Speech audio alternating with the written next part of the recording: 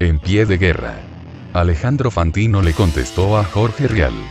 El conductor de intrusos había criticado una actitud de animales sueltos. Y su colega salió al cruce. Nosotros no robamos. Helada Noticias.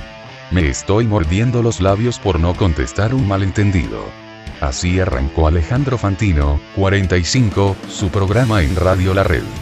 Por la mañana, Jorge Rial, 55, había criticado en diálogo con Clarín una actitud del ciclo Animales Sueltos, América, a las 23, que había promocionado una nota con el ex espía Antonio Jaime Estiuso como exclusiva cuando en realidad había salido al aire dos horas antes en Jorge a las 21, a 24. Me estoy mordiendo los labios porque sé que voy a meter en quilombos a Juan Cruz Ávila, su productor. Me estoy mordiendo los labios y lastimándome para no contestar. Porque si contesto se arma una guerra nuclear. Y hay que tener cuidado con las armas nucleares, continuó Fantino. Y agregó. Nosotros no le robamos nada a nadie. Y Mariel, por Fitzpatrick, quien hizo la nota, trabaja en animales sueltos desde hace bastante tiempo, incluso antes de trabajar en A24. Nosotros no robamos nada a nadie, laburamos, somos laburantes. Por respeto a Ávila, que es mi amigo, voy a parar acá. Nos equivocamos en poner exclusivo pero la nota tampoco era de los otros, era del grupo, por América. Alejandro Fantino.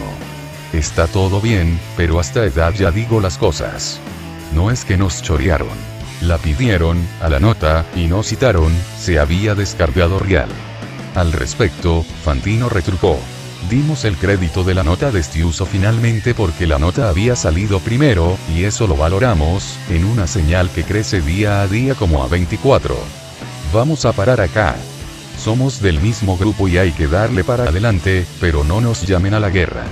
Y cerró. Este uso fue conseguido ayer por Marielle Fitzpatrick, compañera mía en Animales Sueltos desde hace mucho tiempo, y la nota fue puesta al aire en A24, en el programa de Jorge Rial, a las 21.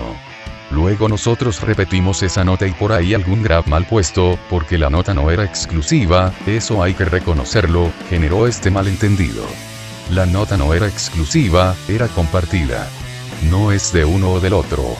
Nos equivocamos nosotros en poner exclusivo pero tampoco es de los otros.